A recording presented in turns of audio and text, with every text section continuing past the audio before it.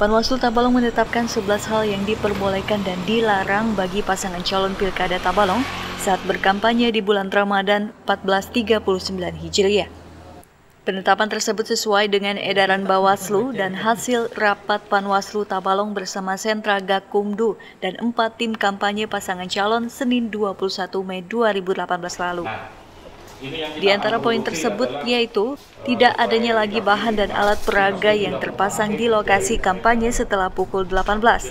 Larangan penyaluran zakat, infak dan sedekah secara pribadi yang memiliki unsur kampanye atau ajakan memilih. Komisioner Pemaslu Tabalong Ardiansyah mengimbau penyaluran zakat, infak, dan sedekah sebaiknya melalui badan atau lembaga resmi, seperti Badan Amil Zakat. Untuk pembagian zakat, kami menyarankan untuk menyalurkan ke badan amil zakat. Namun, eh, itu tidak wajib sifatnya, karena di, hanya berupa himbauan saja. Karena memang eh, di negara kita juga tidak mewajibkan itu.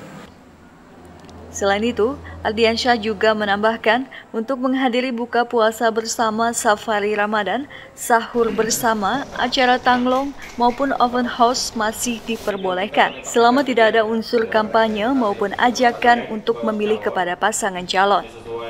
Haris Muhazir, TV Tabalong melaporkan.